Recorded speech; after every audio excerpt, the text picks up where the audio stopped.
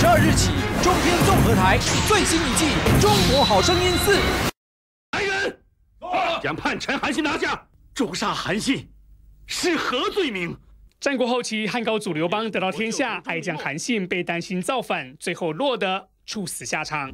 就凭你这大不韪、大不敬，就足以要了你岳飞的项上人头啊！因为宋高宗一旦是让岳飞把他爸爸跟哥哥救回来的话，那今天他的皇帝也就不用用十二道金牌把岳飞叫回来，最后以莫须有的罪名把他处死。宋朝的岳飞跟韩信有点类似，都在立下汗马功劳后被质疑功高震主，而这种情况古今中外都会发生，尤其是潜台词。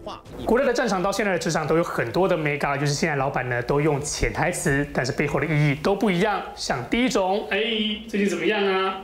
问你一切都好吗？就说还好，不错。当然呢，不是要你听公司的坏话，或者是同事间的耳语。第二种，你到底每天都在忙什么？问你忙什么？只是说你最近工作比较不好，要改善，而不是要听老婆小孩让你有多累。当然还有第三种状况，我看你就看着办吧，看着办，怎么办？就是跟着老板跟企业的脚步办，不要有太多自己的想法。这样你了解了吗？